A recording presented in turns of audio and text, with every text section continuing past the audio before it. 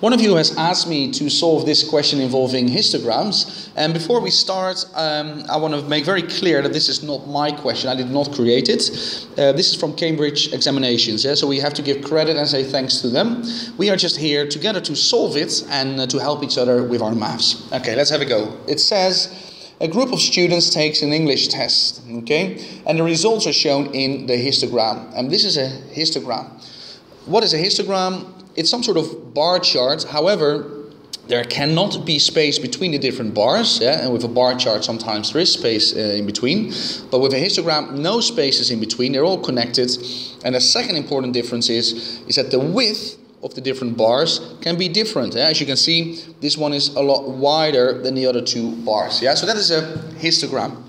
Now, not always, but most likely also for you when you answer questions involving histograms, they will talk about frequency density, and that is very important. And if you are also doing some physics, you will know the word density already. Uh, but let's read on and see what that means frequency density. A hundred students, they say, score marks in the range from 50 to 75. Yeah, so let's have a look at that bar from 50 to 75. 100 students. Well, if I look at the height of the bar, it only says 4 yeah, but the vertical axis is not the frequency, so it's not four students uh, in that group. No, it's frequency density. And then you need to realize that to get the frequency, you have to look at the area of your bar. Yeah? So indeed, 25 eh, from 50 to 75, 25 times 4 is 100. So with frequency density, the frequency you get when you find the area of your bar. Yeah? So there are 100 students in this group. And they give you an example of that. Yeah? So this example is there for you to, uh, to re- basically to remind yourself of that. Yeah? So we're talking about the area. Good, we finished our analysis. Let's have a look at uh, the questions now. How many students score marks from 0 to 50? So from 0 to 50, so how many, what is the frequency if you like? So we're looking at the area because it's frequency density. So 50 times 3, yeah, because it is um, a normal uh, rectangle. So it is width times height, 50 times 3. So there will be 150 students in that group. Yeah, and although there are more students in this group, the bar is lower than the next group. Why? Because it is wider. Okay, so 150 students compared to 100, still it is lower. Yeah, why is that? Because it is a wider group as well. Okay, frequency density, the area is going to give me my frequency, how many students scored a mark in a range from 75 to 100. So that again is then 25 times 5. 25 times 5. Oh, I need a pen for that. 25 times 5 equals 125. Yeah? So they're going to be 125 stu- oh, I want that in red. 125 students over there. Okay, good area, frequency density. So we understand that now. And then we can move on to the next question. Calculate an estimate of the mean mark of this group of students. Now, please make sure you have seen my videos or that you will have a look at my videos about grouped frequency tables because that's a bit of a paradox, isn't it? Calculate an estimate, yeah, where the word calculate implies a certain accuracy, yeah, that it's a, yeah, uh, yeah, you have to find an exact uh, value, calculate and an estimate means as if you are guessing. Yeah. So calculating an estimate that's that's a little bit funny. Yeah. So uh, please be aware of that. You are not guessing at all. Yeah. You're not guessing. But to find the mean, yeah, mark of a group uh, of data, I have to plus all the scores, plus them, and I divide that by the amount of tests taken. Yeah. Now, if I look at the scores from 0 to 50, 150 students are in that group from 0 to 50. 150 students. But I do not know their exact scores. I do not know their exact scores. It could be 20, 20, 18, 41, 31, whatever. I don't know it. I only know that 150 students are in this group. Okay, so what do I have to do when I'm calculating an estimate is that I take what we call the mid value of each group.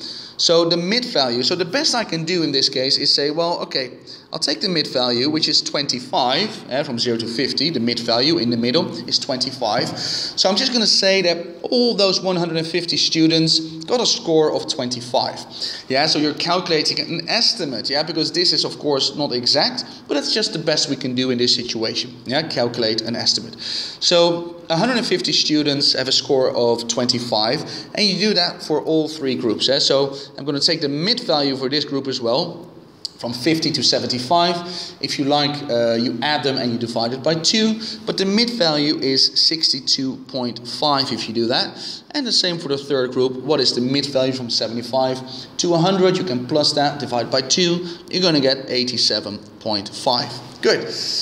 Then you find uh, uh, the mean. So 150 times a score of 25 plus 100 times a score of 62.5 plus I'm going to continue there I have 125 students who got a score of 87.5 and all of that divided by the frequency how many scores in total are taken? Now unfortunately some of you are going to say oh divided by 3 yeah, but that is wrong because if I if I just look at the scores, it's from zero to 100. So if I would have to guess, I'd say the mean, uh, the average, if you like, is about 60. Okay. Anyway, it has to be between zero and 100 because how many scores are taken? 150 plus another 100 plus another 125. Please be aware of that. Yeah. So the frequency is 375. So if you accidentally do 3, yeah, your answer will not make sense. Eh? You'll get a mean score of, I don't know, 682. That's nonsense, of course. Nobody got a, a score of 682. Yeah? This is a percentage out of 100. So if I'm guessing, it should be 60. Yeah, the frequency 375. Plug it in your calculator uh, I don't have a calculator here, but you're going to get something like 55.83 and some more decimals, yeah? Anyway, it's not going to be an exact answer. Are you going to get more decimals? I think you do. I'm, I'm not sure about that, yeah? But have a look in your calculator. That's what you write. Uh, that's what you get. Please write down the unrounded answer first, because then you tell yourself, okay, a non-exact answer. So uh, it's not an angle, so we're talking about three significant figures. One, two, three. And then you ask yourself the question, the 8, does it stay in 8 or does it go to a 9? That depends on the next one. And then you tell yourself, well, that stays in 8 because a 3 is less than 5. 55.3. Does that make sense as a final answer? Uh, again, we go back. What is the mean mark? Well, I said oh, I'm guessing 60. Well, that was just a guess. Eh? So if I get 55 point, uh, sorry, not 0.3. Did I say 0.3? Hopefully you guys were shouting out loud. No, shout, shouting out loud. That is wrong. Should be 0.8, eh? 55.8. Sorry about that. Again, I estimated 60, I believe, somewhere um, uh, sometime earlier. I get an answer of 55.8. So that is an answer I trust. That's an answer I believe. But if I if my answer would be 155.8, I tell myself I made a silly mistake somewhere, and I can easily check where because I wrote down all my workings. Good. That was that about histograms. Hopefully that was helpful. So please share and like this video if it was. Uh, then I can also help your friends a little bit better if you do so. And check out my site explainingmaths.com uh, for more uh, uh, resources, yeah, and everything is for free. I also have a forum there where you can ask me your questions, and I will help you with a similar video like this one. And don't worry, that is all for free as well. Yeah, I'm just glad I've, i can help you. Okay, I also have a Facebook account and a Twitter account uh, where you can um, get into touch with me as well. I wish you a very pleasant day, and see you later. Bye bye.